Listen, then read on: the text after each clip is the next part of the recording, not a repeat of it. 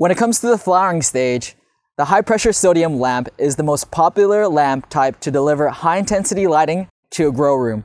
For a long time, HPS lamps only came in single ended types, meaning the lamp screws into a single socket. About 10 years ago, Philips developed and marketed a double ended HPS lamp for greenhouse application.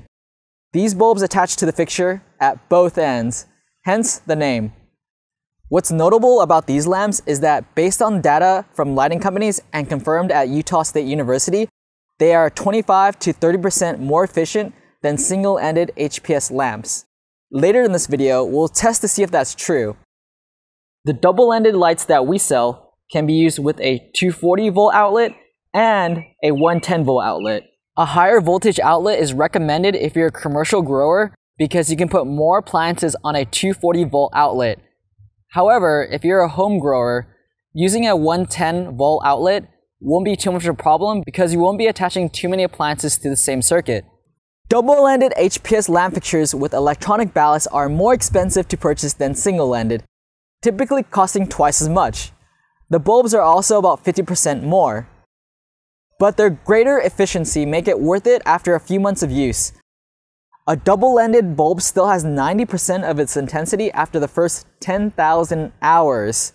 That's pretty amazing. If you're just using one double-ended light, you don't have to worry about light uniformity.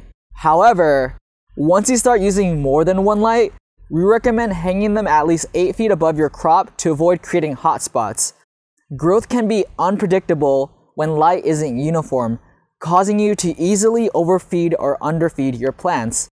This can be especially problematic in young plant production. We wanted to compare the par output and watts drawn of a 1000 watt single-ended HPS bulb versus a double-ended HPS bulb. We set a 24 by 24 inch grow area and made 9 evenly distanced points.